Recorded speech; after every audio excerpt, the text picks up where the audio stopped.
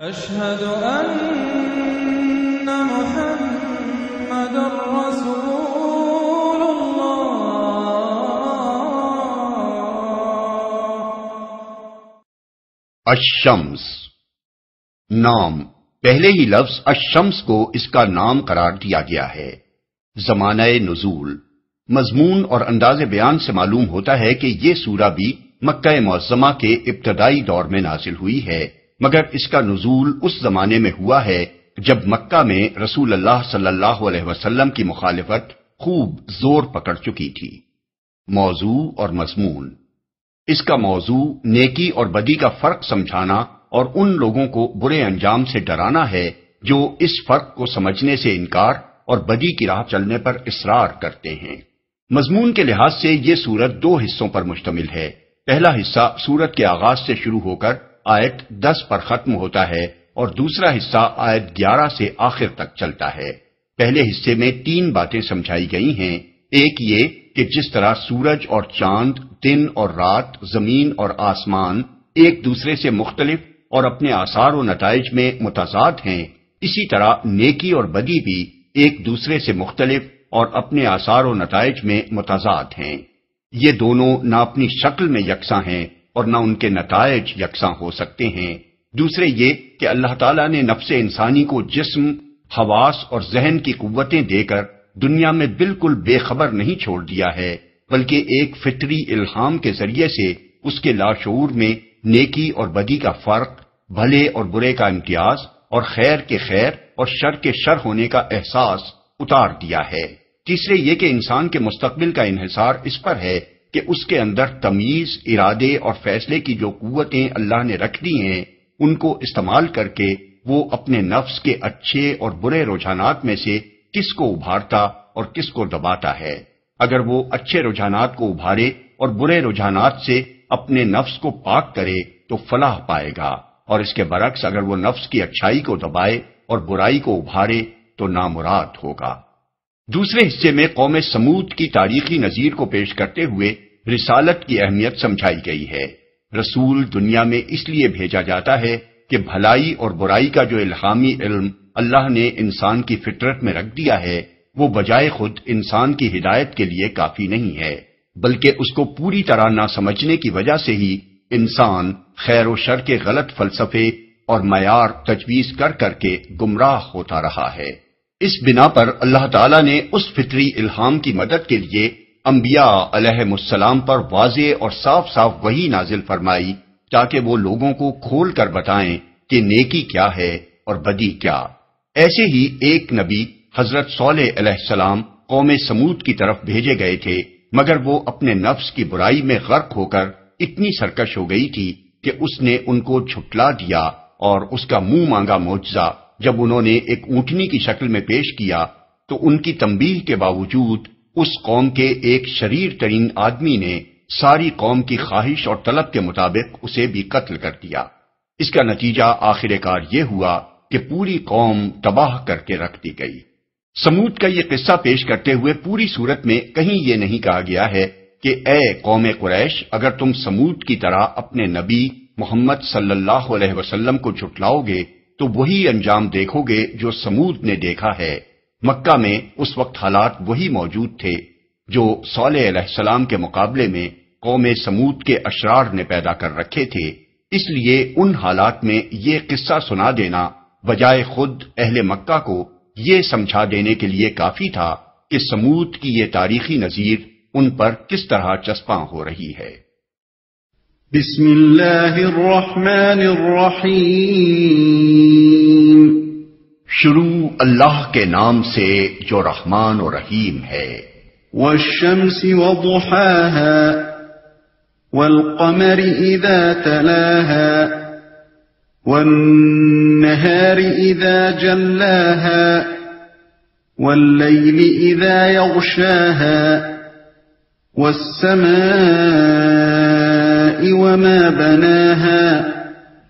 सूरज और उस धूप की कसम और चाँद की कसम जबकि वो उसके पीछे आता है और दिन की कसम जबकि वो सूरज को नुमाया कर देता है और रात की कसम जबकि वो सूरज को ढांक लेती है और आसमान की और उस जात की कसम जिसने उसे कायम किया धूप की कसम असल में लफ्ज दोहा इस्तेमाल किया गया है, जो सूरज की रोशनी और उसकी हरारत दोनों पर दलालत करता है। अगरचे अरबी जबान में इसके मारूफ मानी चाश्त के वक्त के हैं, जबकि सूरज तुलु होने के बाद खासा बुलंद हो जाता है। लेकिन जब सूरज चढ़ता है तो सिर्फ़ रोशनी ही नहीं देता, बल्कि गर्मी भी देता है। इसलिए दोहा का लफ्ज जब सूरज की तरफ़ मंसूब हो तो उसका पूरा मफहूम उसकी रोशनी या उसकी बदौलत निकलने वाले दिन के बजाय उसकी धूप ही से ज़्यादा सही तौर पर अदा होता है।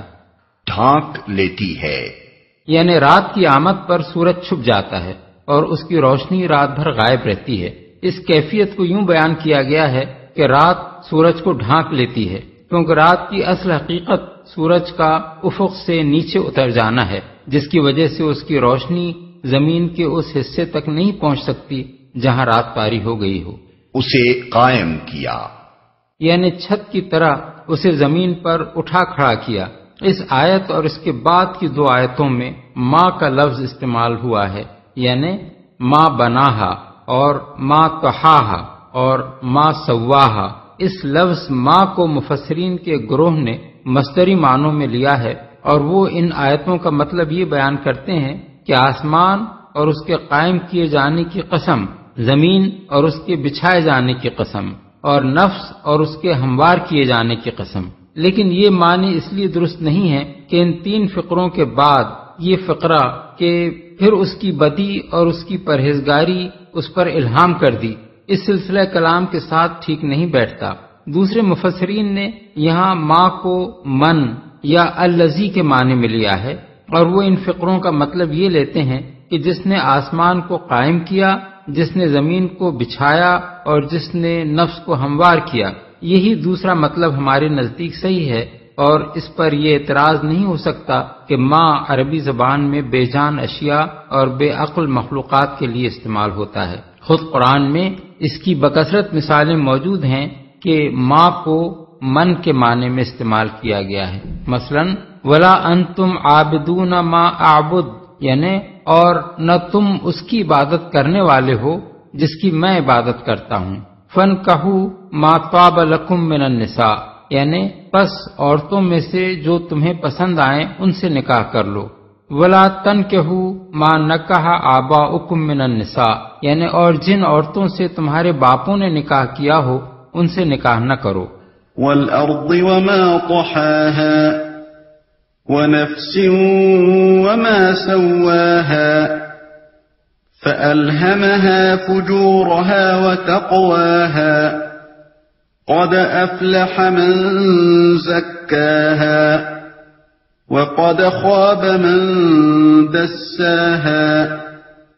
और जमीन की और उस जात की कसम जिसने उसे बिछाया और नफ्से इंसानी की और उस जात की कसम जिसने उसे हमवार किया फिर उसकी बदी और उसकी परहेजगारी उस पर इल्हाम कर दी। यकीनन फलाह पा गया वो जिसने नफ्स का तस्किया किया और नामुराद हुआ वो जिसने उसको दबा दिया, जिसने उसे हमवार किया। हमवार करने से मुराद ये है कि उसको ऐसा जिस्म अता किया जो अपने कामत रास्त और अपने हाथ पाँव और अपने दिमाग के एतबार से इंसान किसी ज़िंदगी बसर करने के लिए मौजूद तरीन था। उसको देखने, सुनने, छूने, चखने और सूंघने के ऐसे हवास अता किए जो अपने तनासब और अपनी खसूसियात की बिना पर उसके लिए बेहतरीन ज़रिए इल्म बन सकते थे।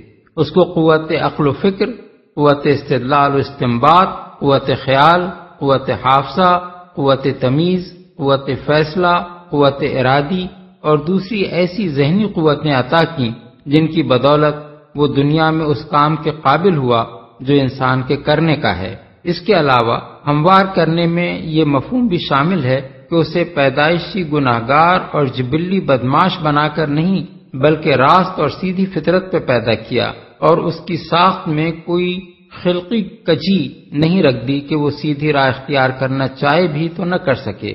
यही बात है जिसे सूरह रूम में बई अल्फाज बयान किया गया है। कि फितरत अल्लाती फतरन्नास अलैहा, यानी कायम हो जाओ उस फितरत पर, जिस पर अल्लाह ताला ने इंसानों को पैदा किया है। आयत तीस। और इसी बात को नबी सल्लल्लाहु अलैहि वसल्लम ने एक हदीस में यूँ बयान फरमाया है कि कोई बच्चा ऐसा नहीं है जो फितरत के सिवा किसी और चीज़ पर पैदा होता हो। फिर उसके माँ बाप उसे यहूदी या नसरानी या मजूसी बना देते हैं। ये ऐसा ही है जैसे जानवर के पेट से पूरा का पूरा सही व सालिम बच्चा पैदा होता है। क्या तुम उनमें किसी का कान कटा हुआ पाते हो? बहवाला बुखारी व मुस्लिम। यानी ये मुशरकिन हैं जो बाद में अपने अवहाम जाहिलियत की बिना पर जानवरों के कान काटते हैं, वरना खुदा किसी जानवर को माँ के पेट से कटे हुए कान लेकर पैदा नहीं करता। एक और हदीस में हुजूर का इरशाद है, मेरा रब फरमाता है कि मैंने अपने तमाम बंदों को हनीफ यानी सही फितरत पैदा किया था। फिर शयातीन ने आकर उनको उनके दीन, यानी उनके फितरी दीन से गुमराह कर दिया और उन पर वो चीज़ें हराम कर दी जो मैंने उनके लिए हलाल की थीं और उनको हुक्म दिया कि मेरे साथ उनको शरीक करें, जिनके शरीक होने पर मैंने कोई दलील नाजिल नहीं की। बहवाला मुस्नद अहमद। मुस्लिम ने भी इससे मिलते जुलते अल्फाज में हुजूर का ये इरशाद नकल किया है। इल्हाम कर दी। इल्हाम का लफ्ज लहम से है, जिसके माने निगलने के हैं।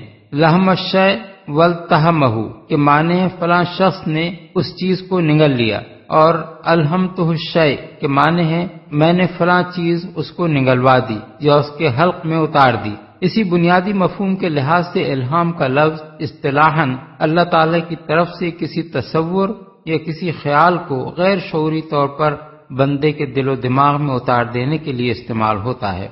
नफ्स इंसानी पर उसकी बदी और उसकी नेकियों पर हिजगारी इल्हाम कर देने के दो मतलब हैं। एक ये कि उसके अंदर खालिक ने नेकी और बदी दोनों के रुझानात और मैलानात रख दिए हैं और ये वो चीज़ है जिसको हर शख्स अपने अंदर महसूस करता है। दूसरा मतलब यह है कि हर इंसान के लाशूर में अल्लाह ताला ने ये तस्वुरात वदियत कर दिए हैं कि अखलाक में कोई चीज़ भलाई है और कोई चीज़ बुराई। अच्छे अखलाक अमाल और बुरे अखलाक अमाल यकसा नहीं है। उजूर, यानी बद किरदारी एक कभी चीज़ है। और तकवा, यानी बुराइयों से इज्तनाब, एक अच्छी चीज़। ये तस्वुरात इंसान के लिए अजनबी नहीं है, बल्कि उसकी फितरत इनसे आशना है। और खालिक ने बुरे और भले की तमीज पैदाइशी तौर पर उसको अता कर दी है। यही बात सूरह बलद में फरमाई गई है कि वह हदई ना नजदैन, यानी और हमने उसको खैर शर के दोनों नुमाया रास्ते दिखा दिए। आयत दस। इसी को सूरह दहर में यूँ बयान किया गया है, इन्ना हदईना सबीला, इम्मा शाकिरम व इम्मा कफूरा।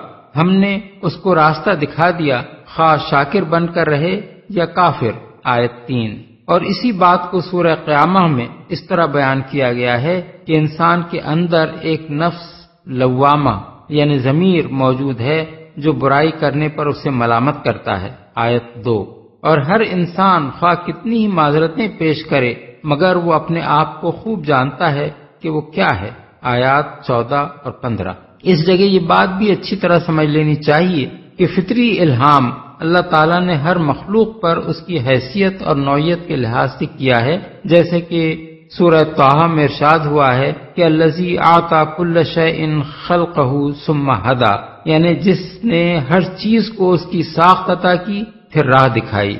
आयत पचास। मसलन, हैवानात की हर नौ को उसकी जरूरियात के मुताबिक इल्हामी इल्म दिया गया है, जिसकी बिना पर मछली को आप से आप तैरना, परिंदे को उड़ना, शहद की मक्खी को छत्ता बनाना और बह को घोंसला तैयार करना आ जाता है। इंसान को भी उसकी मुख्तलिफ़ हैसियतों के लिहाज से अलग अलग किस्म के इल्हामी उलूम दिए गए हैं। इंसान की एक हैसियत यह है कि वो एक हैवानी वजूद है और इस हैसियत से जो इल्हामी इल्म उसको दिया गया है, उसकी एक नुमाया तरीन मिसाल बच्चे का पैदा होते ही माँ का दूध चूसना है, जिसकी तालीम अगर खुदा ने फितरी तौर पर उसे न दी होती तो कोई उसे ये फन न सिखा सकता था। उसकी दूसरी हैसियत यह है कि वो एक अकली वजूद है। इस हैसियत से खुदा ने इंसान की आफरीनिश के आगाज़ से मुसलसल उसको इल्हामी रहनुमाई दी है, जिसकी बदौलत वो पै दर पै इक्तशाफात और ईजादात करके तमदन में तरक्की करता रहा है।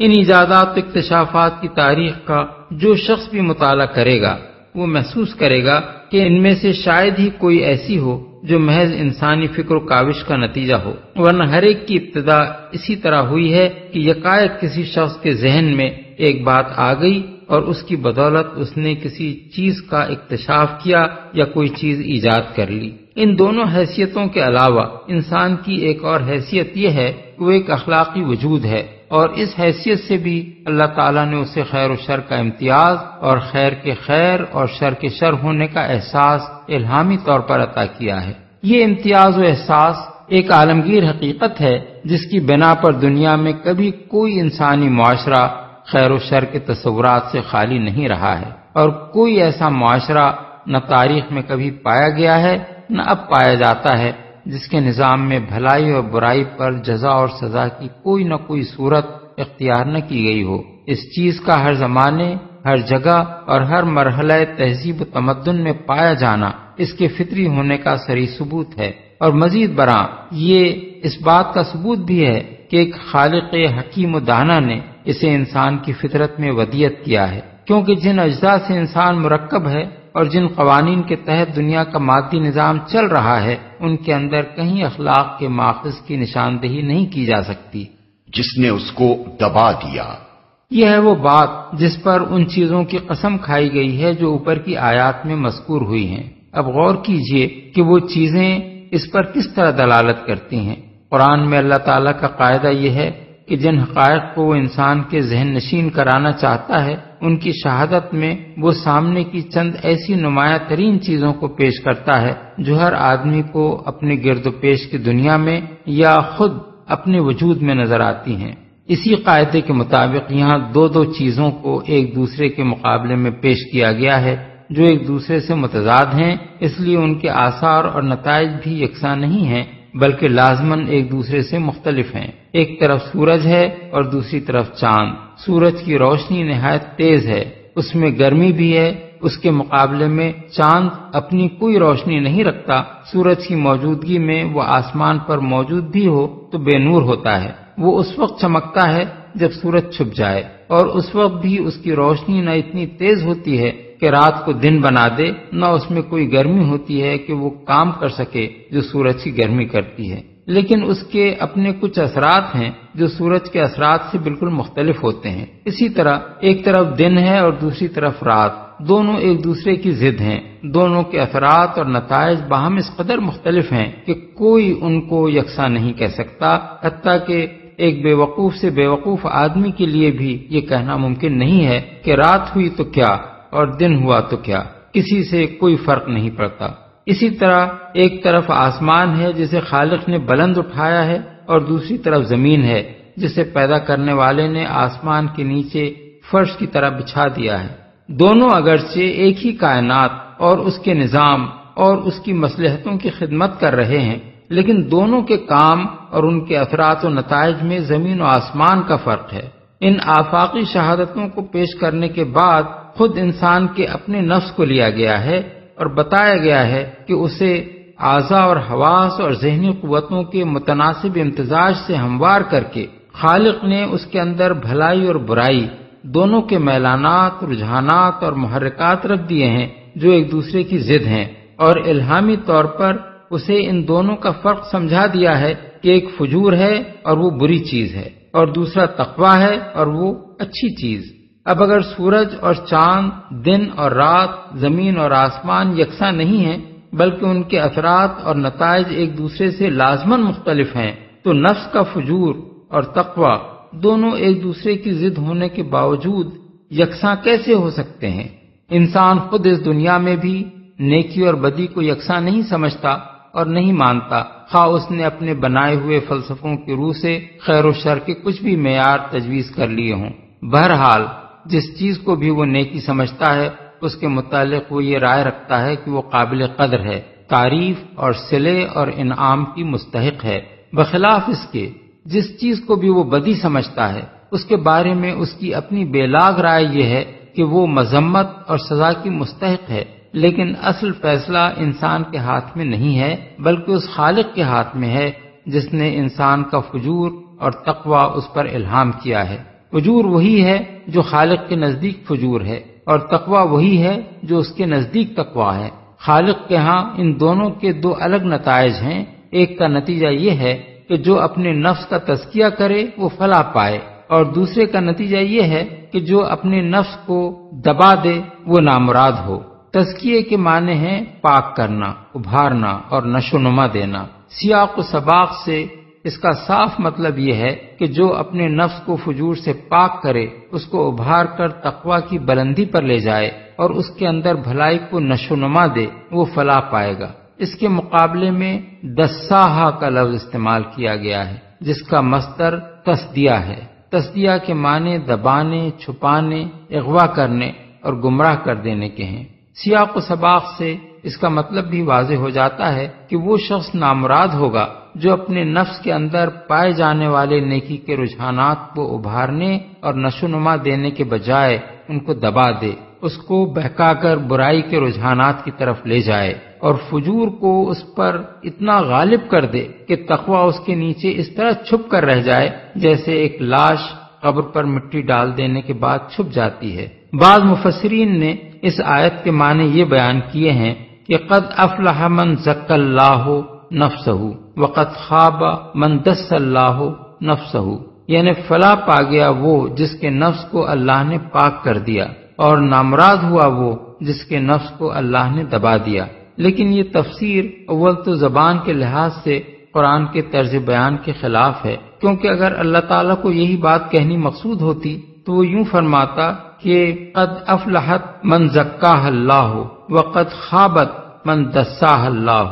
यानी फला पा गया वो नफ्स जिसको अल्लाह ने पाक कर दिया और नामराद हो गया वो नफ्स जिसको अल्लाह ने दबा दिया। दूसरे, ये तफसीर इसी मौजू पर कुरान के दूसरे बयानात से टकराती है। सूरह आला में अल्लाह ताला का इरशाद है, कद अफलाहा मन तजक्का यानी फला पा गया वो जिसने पाकिजगी इख्तियार की। आयत चौदह। सूरह अबसा में अल्लाह ताला ने रसूलुल्लाह सल्लल्लाहु अलैहि वसल्लम को खिताब करके फरमाया, वमा अलई का अल्लाह यज्का यानी, और तुम पर क्या ज़िम्मेदारी है अगर वो पाकिजगी न अख्तियार करे? इन दोनों आयतों में पाकिजगी अख्तियार करना बंदे का फेल करार दिया गया है। इसके अलावा कुरान में जगह जगह ये हकीकत बयान की गई है कि इस दुनिया में इंसान का इम्तहान लिया जा रहा है। मसलन, सूरह दहर में फरमाया, हमने इंसान को एक मखलूत नुस्खे से पैदा किया ताकि उसकी आजमाइश करें। इसीलिए उसे हमने समी व बसीर बनाया। आयत दो। और सूरह मुल्क में फरमाया, जिसने मौत और ज़िंदगी को ईजाद किया ताकि तुम्हें आजमाए कौन तुम में बेहतर अमल करने वाला है। आयत दो। अब ये ज़ाहिर है कि इम्तहान सिरे से ही बेमानी हो जाता है, अगर इम्तहान लेने वाला पहले ही एक उम्मीदवार को उभार दे और दूसरे को दबा दे। इसलिए सही तफसीर वही है जो कतादा इक्रमा, मुजाहिद और सईद बिन जुबैर ने बयान की है कि जक्काहा और दस्साहा का फ़ाइल बंदा है, न कि खुदा। रही वो हदीस जो इब्न अबी हातिम ने अनजुबैबिर बिन सईद अनजहाक अन इब्न अब्बास की सनत से नकल की है कि खुद रसूलुल्लाह सल्लल्लाहु ने इस आयत का मतलब ये बयान फरमाया कि अफलाहत नफ्सुन जक्काहल्लाह अज्जा वजल यानी फला पा गया वो नफ्स जिसको अल्लाह अज्जा ने पाक कर दिया तो ये इरशाद दर हकीकत हजूर से साबित नहीं है क्योंकि इसकी सनद में जुवैबिर मतरूकुल हदीस है और इबन अब्बास से जहाक की मुलाकात नहीं हुई है। अलबत् वो हदीस सही है जो इमाम अहमद, मुस्लिम, नसाई और इबन अबी शैबा ने हज़रत जैद बिन अरकम से रिवायत की है कि हुजूर ये दुआ मांगा करते थे कि अल्लाहुम्मा आते नफसी तकवाहा व जक्हा अंत खैर मन जक्काहा, अंत वलीहा व मौलाहा। यानी खुदाया मेरे नफ्स को उसका तकवा अता कर और उसको पाकिजा कर, तू ही वो बेहतर हस्ती है जो उसको पाकिजा करे। तू ही उसका सरपरस्त और मौला है। इसी से मिलते जुलते अल्फाज में हजूर की ये दुआ हज़रत अब्दुल्ला बिन अब्बास से तबरानी, इब्न मरदुआ और इब्नुल मुंजिर ने और हज़रत आयशा से इमाम अहमद ने नकल की है। इसका मतलब दर यह है कि बंदा तो सिर्फ़ तकवा और तस्किए की ख्वाहिश और तलब ही कर सकता है। रहा उसका नसीब हो जाना तो बहरहाल अल्लाह ही की तौफीक पर मुनहसर है। और यही हाल तत्सिया का भी है। अल्लाह ज़बरदस्ती किसी के नफ्स को नहीं दबाता, मगर जब बंदा उस पर तुल जाए तो अल्लाह ताला उसे तकवा और तस्किया की तौफीक से महरूम कर देता है और उसे छोड़ देता है कि अपने नफ्स को जिस गंदगी के ढेर में दबाना चाहे दबा दे।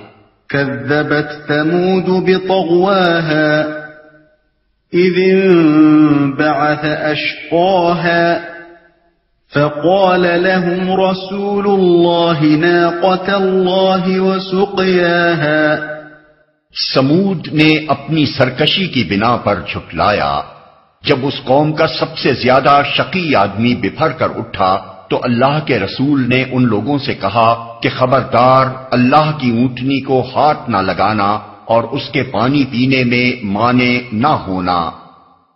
समूद ने ऊपर की आयात में जिन बातों को उसूलन बयान किया गया है, अब उन्हीं की वजाहत एक तारीखी नजीर से की जा रही है। ये किस बात की नजीर है और ऊपर के बयान से इसका क्या ताल्लुक है? इसको समझने के लिए कुरान मजीद के दूसरे बयानात की रोशनी में उन दो बुनियादी हकीकतों पर अच्छी तरह गौर करना चाहिए, जो आयात सात का दस में बयान की गई हैं। अव्वलन, उनमें फरमाया गया है कि नफ्स इंसानी को एक हमवार मुस्तकीम फितरत पर पैदा करके अल्लाह ताला ने उसका फजूर और उसका तकवा उस पर इल्हाम कर दिया। कुरान इस हकीकत को बयान करने के साथ ये भी वाजे करता है कि फजूर और तकवा का ये इल्हामी इल्म इस बात के लिए काफ़ी नहीं है कि हर शख्स खुद ही उससे तफसीली हिदायत हासिल कर ले, बल्कि इस गर्ज के लिए अल्लाह ताला ने वही के ज़रिए से अम्बिया को मुफसल हिदायत दी, जिसमें वजाहत के साथ ये बता दिया गया कि फजूर का इतलाक किन किन चीज़ों पर होता है,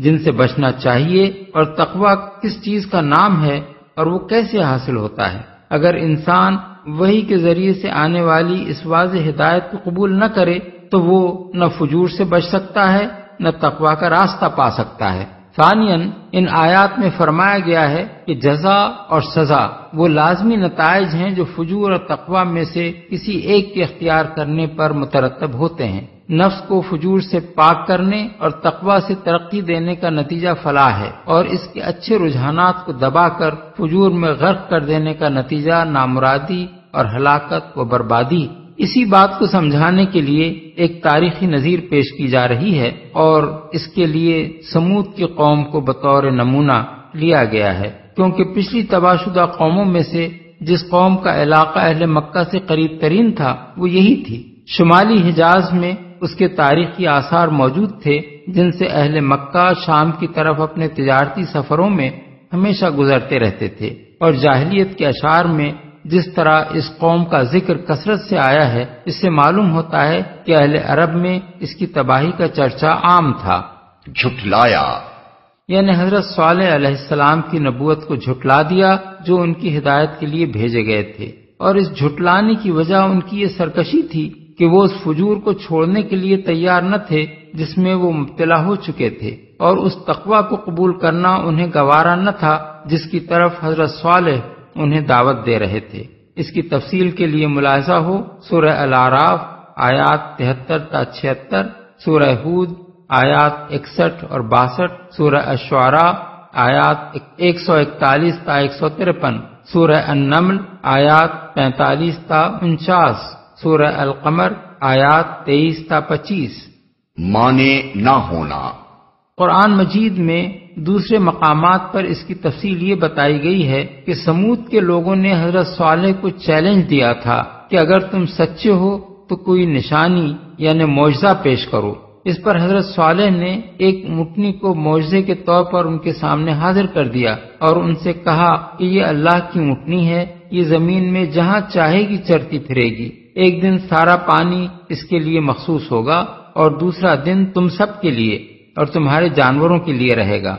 अगर तुमने इसको हाथ लगाया तो याद रखो कि तुम पर सख्त अजाब नाजिल हो जाएगा। इस पर वो कुछ मुद्दत तक डरते रहे, फिर उन्होंने अपने उस सबसे ज़्यादा शरीर और सरकश सरदार को पुकारा कि इस मुटनी का किस्सा तमाम कर दे और वो इस काम का जिम्मा लेकर उठ खड़ा हुआ। सूरह अल आराफ आयत तिहत्तर। सूरह अश्वरा, आयात एक सौ चौवन ता एक सौ छप्पन। सूरह अल कमर आयत उनतीस